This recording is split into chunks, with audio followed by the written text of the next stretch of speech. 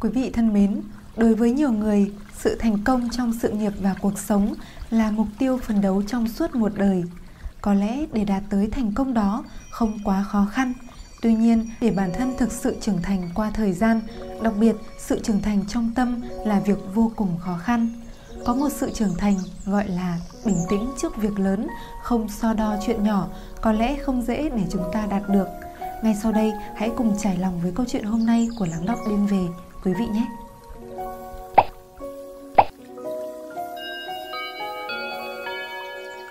một người có trưởng thành hay không, kỳ thực không thể dùng tuổi tác nhiều hay ít của họ để đánh giá nhìn nhận có những người tuổi đã cao, nhưng cách hành xử và những suy nghĩ trong tâm của người ấy vẫn hời hợt, thậm chí trống rỗng nhưng có những người tuy còn trẻ tuổi nhưng lại rất chín chắn. Suy nghĩ cân nhắc, thấu đáo, kỹ càng. Sự trưởng thành, sự hoàn thiện của tâm tính không phải được quyết định bởi người đó gặp bao nhiêu gian nan trong gai trong cuộc đời, mà nó được thể hiện ra ở thái độ và cách mà người ấy đối đãi với sự tình ra sao. Một người có sự tu dưỡng và tâm tính tốt mới thực sự là một người trưởng thành. Trưởng thành là một quá trình dài lâu, chứ không phải chuyện một sớm một chiều. Nó chịu ảnh hưởng rất lớn từ sự tu dưỡng tâm tính của người ấy. Điều đó cũng là lý do, lý giải vì sao những người càng trưởng thành thành thục, chín chắn thì thường càng ôn hòa và tĩnh lặng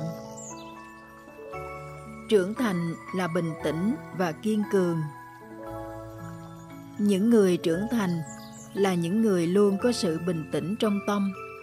Trên khuôn mặt luôn thể hiện sự bình thản kiên cường. Khi đối mặt với những việc trọng đại trong đời mà vẫn điềm tĩnh tự như không, khi đối diện với những điều nhỏ bé vụn vặt thì không so đo tính toán. Có một số người khi gặp chuyện bất bình không vừa ý, liền tức giận, không giữ được bình tĩnh. Vì chuyện nhỏ cũng nổi trận lôi đình bất mãn. Người xưa dạy, nổi giận là bản năng, kiểm soát nóng giận là bản lĩnh. Con người khi nóng giận sẽ không có lý trí, nói những lời làm tổn thương người khác. Nhẹ thì làm tổn thương hòa khí hai bên, nặng thì sẽ chuốc lấy bất hạnh cho bản thân mình có người khi đối diện với mọi vấn đề đều ung dung bình tĩnh đối diện. Cũng có những người bất kể trải qua sóng to gió lớn tới đâu, bất kể gặp phải người giả dối, tiểu nhân xấu xa như thế nào, đều luôn mỉm cười, điềm tĩnh đối diện. Khi gặp mâu thuẫn thì tìm nguyên nhân, khi gặp khó khăn thì tìm giải pháp khắc phục có những người khi đối diện với bất kể chuyện gì đều trầm lặng không nói. Cũng lại có những người khi bị người khác hiểu lầm thì không đi giải thích. Khi bị người khác bình luận cũng không tranh cãi. Khi bị người khác đặt điều thị phi thì im lặng, không giải thích. Họ im lặng không phải vì họ sợ, cũng không phải vì nhu nhược, hèn yếu mà muốn đợi thời gian chứng minh tất cả. Đôi khi, im lặng giúp tâm thái người ta thoải mái hơn là thổ lộ dốc bầu tâm sự. Im lặng cũng là biểu hiện sự từng trải, giúp người ta trưởng thành. Đau rồi, hãy cố gắng nhẫn chịu một chút. Mệt mỏi rồi, nên im lặng nghỉ ngơi. Những người càng có thói quen im lặng càng không muốn nói nhiều lời. Cũng bởi lòng người khó lường, thật giả khó phân biệt.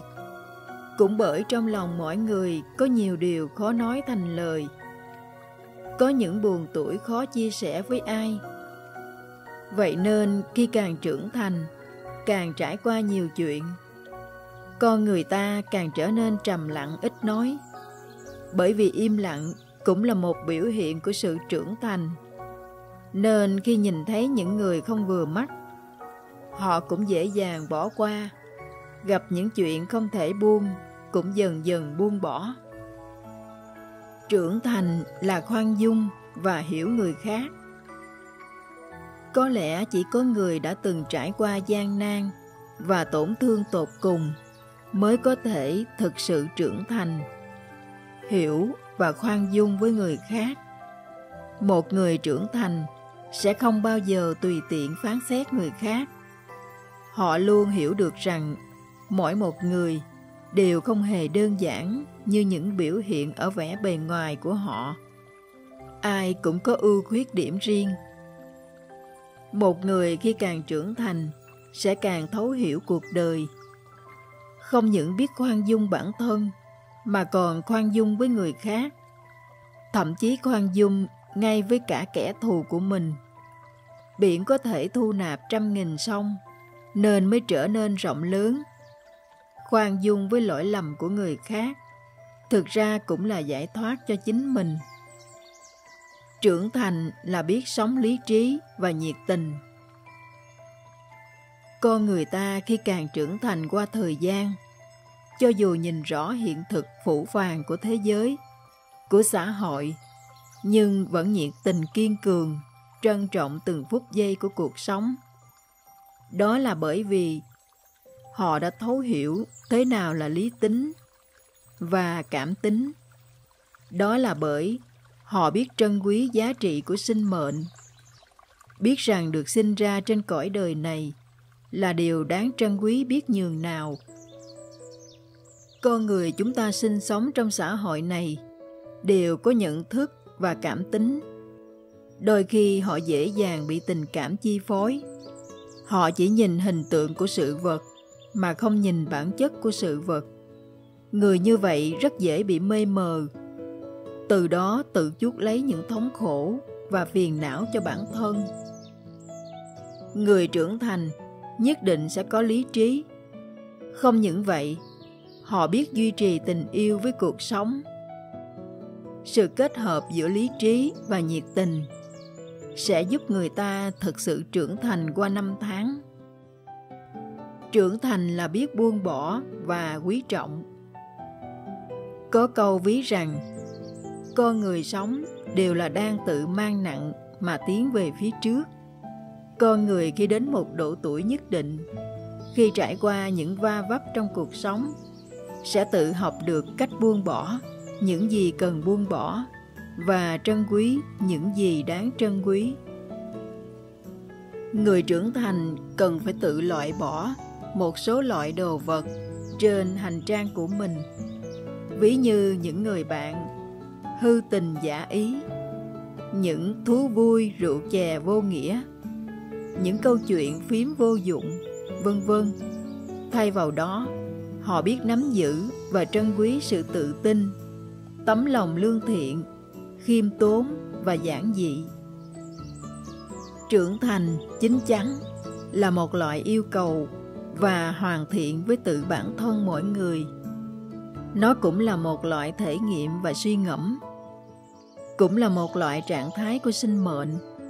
Trong quá trình trưởng thành, mỗi người đều phải trải qua vô vàng sóng gió cũng sẽ học được rất nhiều điều trân quý.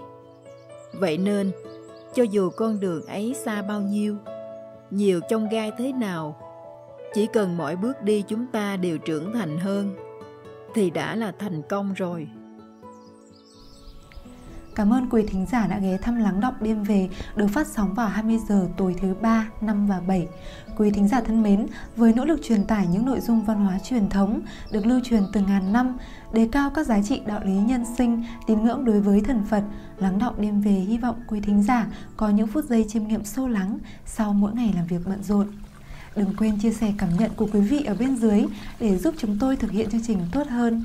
Mến chúc quý vị một buổi tối bình an và ngon giấc.